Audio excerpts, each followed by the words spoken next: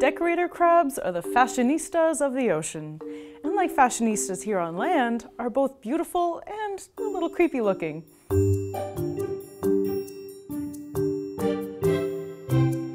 Hi, I'm Danielle Dufault, and you're watching Animalogic. Finding commonalities between ourselves and other animals is key to developing an interest in them, especially when it comes to conservation. It's easier to care about an animal that you can relate to, like a panda falling down for no reason, a parrot jumping up and down in excitement, or a lion yawning. Yet with decorator crabs, what we have most in common with them isn't a perceived emotion, but our sense of fashion. Unlike many other camouflage experts that we've talked about before, like the octopus or cuttlefish, who've all evolved complex color and texture changing systems to help them blend into their surroundings, decorator crabs have gone the opposite way and instead, they simply learn to pick stuff up and stick it to themselves. Don't work hard, work smart. Decorator crabs are covered in stiff little bristle-like structures called setae, which they use to attach things to, like seaweed, sponges, and algae. They're basically like living Velcro. There are several different species of decorator crab, but they all belong to the Majoidae superfamily. They can be found all over the world in relatively shallow, warm waters.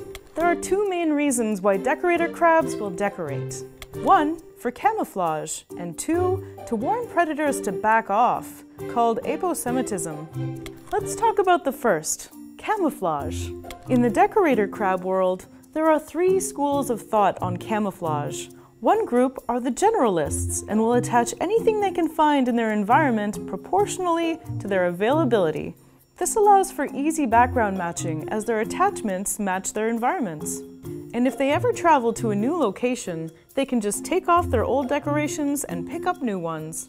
No need for complex evolutionary color changing systems. The second, much smaller group prefers to decorate themselves with the same things that they like to eat, mostly algae, sponges, small crustaceans, and bryozoans. The third group are easily the coolest. I mentioned aposematism before. This is when you use your body, typically coloring, as a warning signal to potential predators. These decorator crabs will decorate themselves with toxic plants and immobile animals like sea sponges, barnacles, and stinging sea anemones. They can then wield these toxic attachments in defense if anything comes looking for lunch. Decorator crabs have been known to form mutually beneficial relationships with sea anemones, specifically Amphiloba acades. This venomous anemone provides protection for the crab, and the crab provides food for the anemone. The other core component of camouflage is the ability to stay very, very still.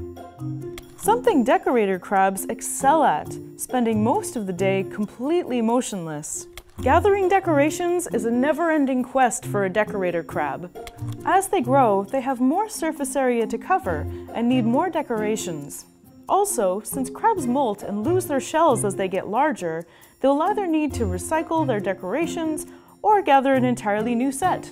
As the decorator crabs get bigger, they have fewer predators and require more and more decorations to cover their bodies, and thus they decorate less.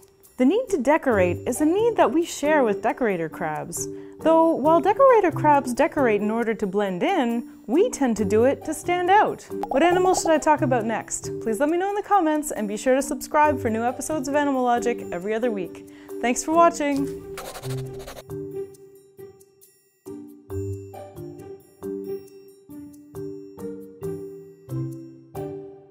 Gathering decorations is a never-ending quest for a decorator crab, crab, decorator quib.